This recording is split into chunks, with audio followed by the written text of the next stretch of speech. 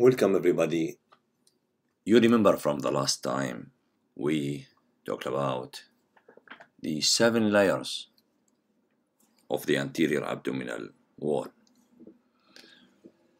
The first layer was the skin, and the second layer was the superficial fascia.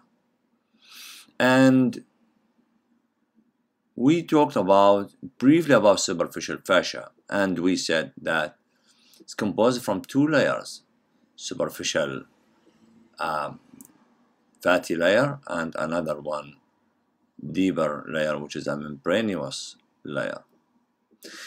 The fatty layer if you can look here so this is the fatty layer of superficial fascia. Indeed this layer is continuous over all most all of your body up and down above your thigh and so forth. So it, it continues up and down and almost above your body. Now the second layer which is um, for what we call it Scarpa's fascia. Scarpa's fascia indeed uh, it's a membranous layer of superficial fascia and it fades out up and laterally. That means it will disappear superiorly and laterally. But Scarpa's fascia will fuse with the deep fascia of the thigh. This is the deep fascia of the thigh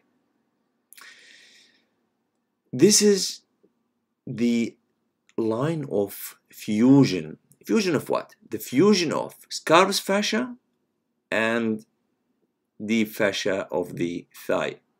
Where is that? How can we determine this point? Okay, it's easy. If you go to the uh, anterior superior iliac spine and symphysis pubis, you will find this ligament. You are familiar with this ligament. This is inguinal ligament. This is inguinal ligament.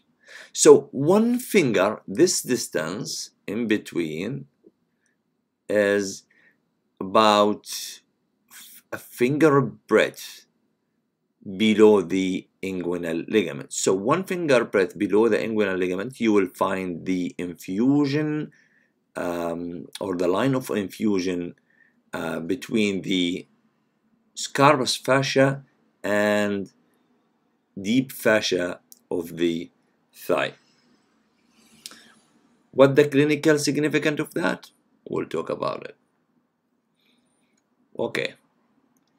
Now, this is a cross section uh, taken from a male, and you can see again the fatty layer of course, you know the fatty layer is called um, fascia, and the uh, membranous layer is called Scarpa's fascia.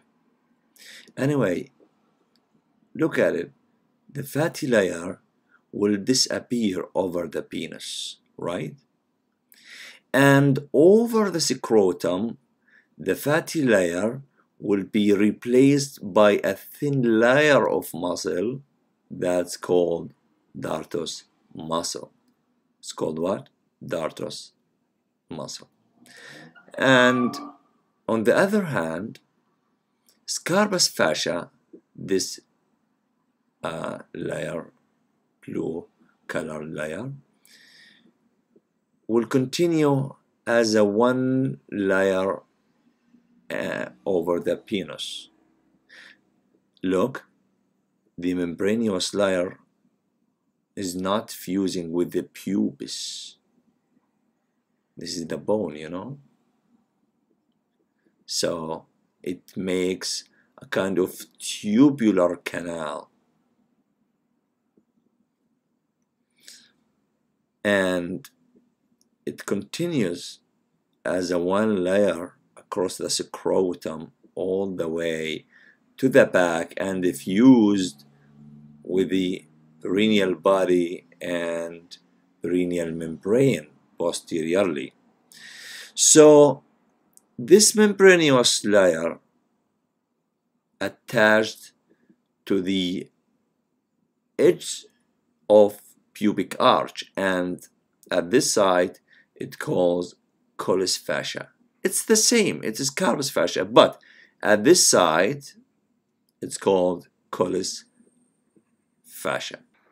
So, what's the clinical significance of that? You know, this is the this is the penile urethra. If there is a rupture in the penile urethra or in the urethra here, the urine will move up to the inferior part of the abdominal cavity. So you will find urine there. And you will find urine in the scrotum and back toward the perineal area. Why? Because we mentioned that the Scarpa's fascia, the membranous layer or superficial fascia, is not fusing or is not attached to the pubic bone, making a kind of a, a canal or tunnel.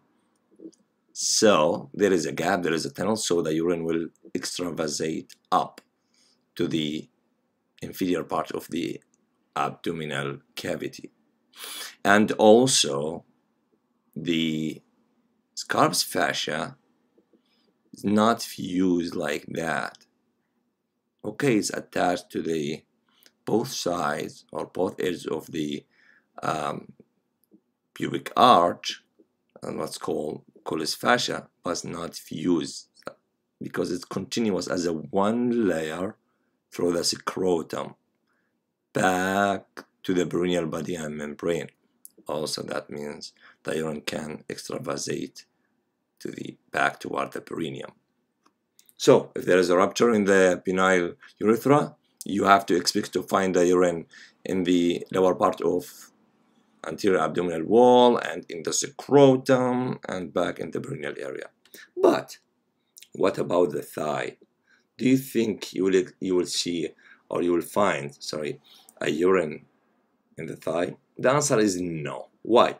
Because we mentioned also at the beginning of this video that the Scarpa's fascia fuses with the deep fascia of the thigh at one finger breadth below the inguinal ligament. This is the inguinal, again, this is the inguinal ligament. And this is about, say, this distance is one finger breadth below it, below the inguinal ligament. So this is the line of fusion. Fusion of what? fusion of Scarpa's fascia and deep fascia of the thigh. So the deep fascia, the Scarpa's fascia fuses with the with the deep fascia of the thigh here, so the urine cannot pass there. No, it cannot. So where can I find the urine? Okay, you will find it in the lower part of the sorry, lower part of the abdominal wall here in the scrotum, in the penis, and back in the perineal area. This is known as extravasation of urine.